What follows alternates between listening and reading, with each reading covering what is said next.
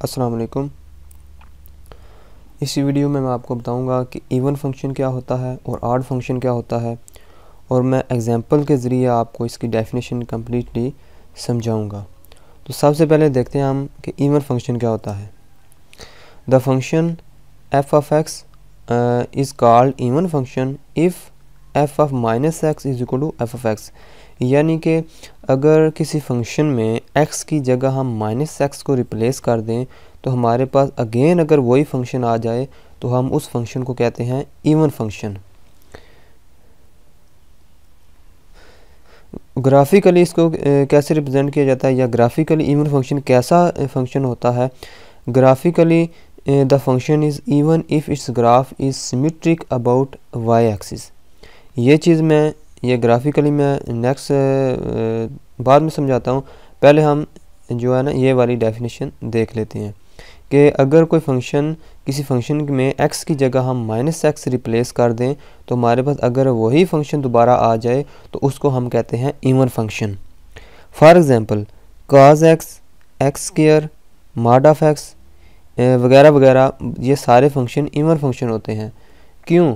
کیونکہ اگر ہم کاز میں کاز ایکس میں مائنس ایکس ریپلیس کریں ایکس کی جگہ ہم مائنس ایکس ریپلیس کریں تو ہمارے پاس اگین کاز آف ایکس آ جاتا ہے۔ کیونکہ جو کاز فنکشن ہوتا ہے اس میں مائنس کا کوئی فرق نہیں پڑتا۔ اگر اس میں مائنس کر دیں تو وہ پھر دوبارہ پلس میں چینج ہو جاتا ہے۔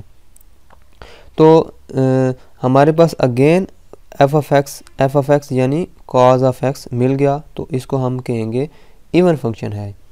اب یہ دیکھیں ایکس کیئر جو ہے ایکس کیئر کی جگہ ہم ایکس کی جگہ ہم مائنس ایکس ریپلیس کریں تو اس کا ایکس کیئر لیں تو پھر اگین ایکس کیئر ہمیں مل جاتا ہے۔ یعنی f of x x square تھا، اس میں ہم نے ریپلیس کیا مائنس ایکس ہمیں اگین ایکس کیئر مل گیا۔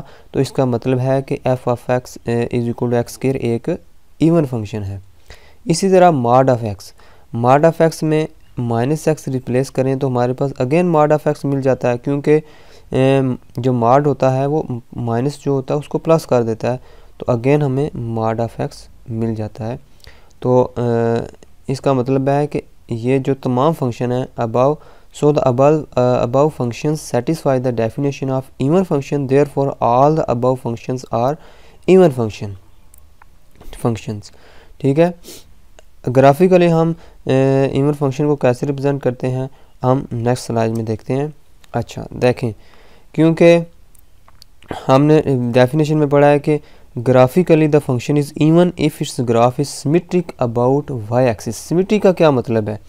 سمیٹری کا مطلب ہے کہ اگر ایک سائڈ میں گراف جس طرح کا ہو وائی ایکسس کے اپوزٹ سائڈ میں اسی طرح کا گراف ہو، تو اس کو کہتے ہیں ہم سمیٹرک اباؤٹ وائی ایکسس جیسے graph of x mod x mod کا گراف کیا ہے؟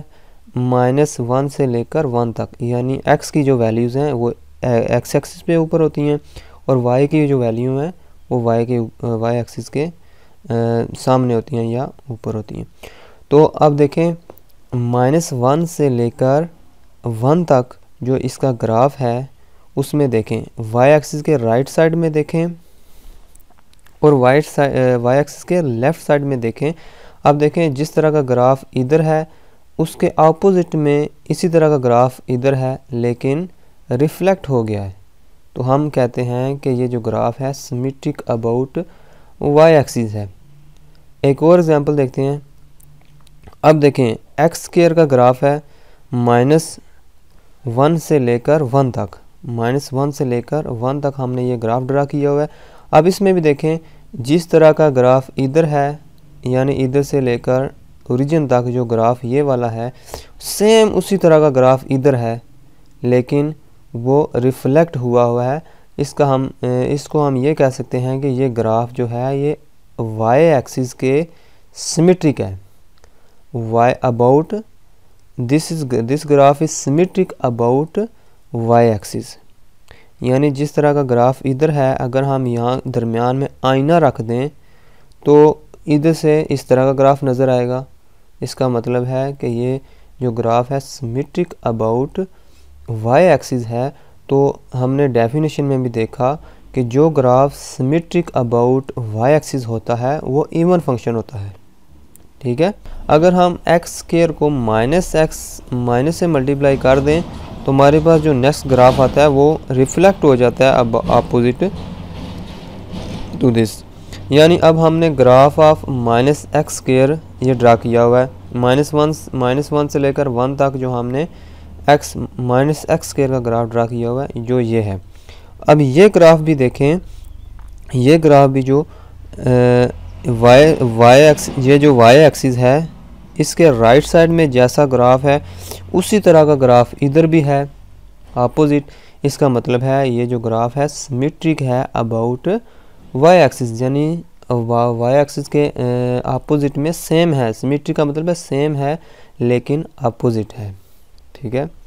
تو یہ بھی ایک ایون فنکشن کی ایگزامپل اب ہم دیکھتے ہیں آڈ فنکشن کیا ہوتا ہے.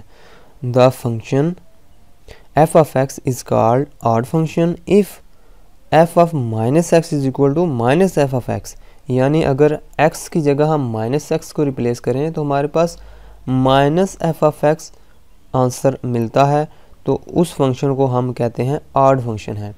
لیکن graphically the function is odd if its graph is symmetric about origin یہ بھی میں بعد میں بتاتا ہوں۔ دا فنکشن اس آڈ فنکشن کی ایگزامپل ہے۔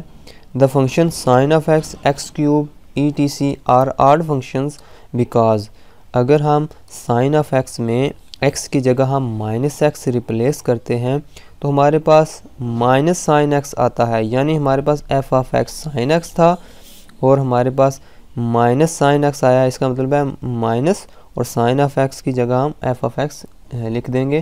یعنی کہ ہم نے f of minus x put کیا اور ہمارے پاس آنسر میں مائنس ایف آف ایکس مل گیا۔ اسی طرح مائنس ایکس کیوب کریں گے۔ تو minus x cube x x کی جگہ مائنس ایکس رکھیں گے اس فنکشن میں ایکس کیوب میں۔ تو ہمارے پاس again minus f of x ملتا ہے۔ اس طرح ہم کہہ سکتے ہیں کہ جو جو یہ جو دو فنکشن ہیں، یہ آڈ فنکشن ہیں کیونکہ یہ اس ڈیفینیشن کو سیٹسفائی کر رہے ہیں۔ اب گرافیکلی کیا آڈ فنکشن کیسا بیہیویئر کرتا ہے؟ اب دیکھیں۔ F of x is the function f of x is equal to x cube when x is between minus two and two is even اور آڈ ہم کہیں گے، ہم ویسے تو ایکس کیوب جو ہے، یہ آڈ فنکشن ہوتا ہے۔ ہم گرافیکلی اس کو دیکھتے ہیں کیسا ہوتا ہے۔ اب دیکھیں، اس کا گراف یہ ہے مائنس ٹو سے لے کر ٹو تک میں نے اس کا گراف ڈرا کیا ہوا ہے۔ یہ ایکس سوری یہ جو ایکس کیوب کا گراف ہے مائنس ٹو سے لے کر ٹو تک۔ اب اس میں دیکھیں، گراف جو ہے، اس میں وائی ایکسس کے اپوزٹ تو نہیں ہے۔ نہیں ہے، کیونکہ جیسا گراف ادھر ہے، ویسا ادھر تو نہیں ہے۔ ٹھیک ہے؟ اب جیسا گراف ادھر ہے، لیکن ویسا ادھر بھی ہے۔ ٹھیک ہے؟ اس چیز کو ہم کہتے ہیں کہ یہ سمیٹرک ہے اباؤٹ اوریجن یعنی جیسا گراف ادھر ہے، یہ جو گراف ہے سارا یہاں سے لے کر اوریجن تک یہ والا جو گراف ہے، اسی طرح کا گراف ادھر بھی ہے اپوزٹ اس کا مطلب ہے یہ جو اوریجن کے پار سائڈ بار اسی طرح کا گراف ہے، تو اس کو کہتے ہیں سمیٹرک اباؤٹ اوریجن ٹھیک ہے؟ تو اگر گراف سمیٹرک اباؤٹ اوریجن ہو، تو اس کو ہم کہتے ہیں اس جو گراف ہوتا ہے، جو جس فنکشن کا وہ گراف ہوتا ہے، اس کو ہم کہتے ہیں آڈ فنکشن ٹھیک ہے؟ اب ہم اگین مائنس ایکس کیوب کو ہم مائنس میں ملٹیپلائی کریں تو ہمارے پاس ایک اور فنکشن بن جاتا ہے، ٹھیک ہے؟ اب یہ دیکھیں، یہ جس طرح کا گراف ادھر ہے، اس طرح کا ادھر تو نہیں ہے۔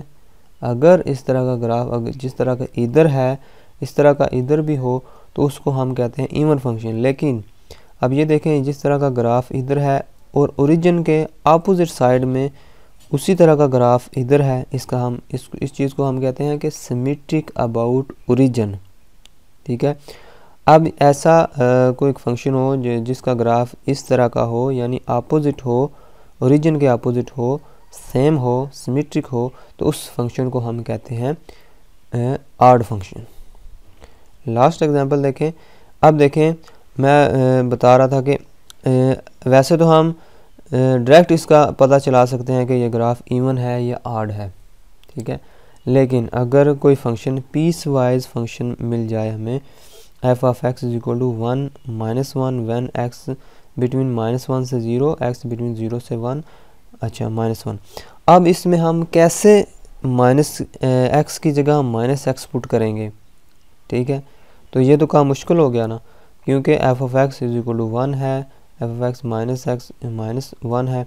اب دیکھیں اگر ہم مائنس ایکس eh, کی جگہ ہم مائنس ایکس پٹ کرتے ہیں تو ہمیں پھر وہی چیز مل جاتی ہے۔ لیکن یہ جو، اگر اس اس فنکشن کا ہم گراف ڈرا کریں یعنی ایکس مائنس ون سے لے کر زیرو تک یعنی ایکس جو ہے ایکس ایکسس کے اوپر مائنس ون سے لے کر زیرو تک اس فنکشن کا جو گراف ہے وہ ون ہے یعنی کہ یہ ون ہے۔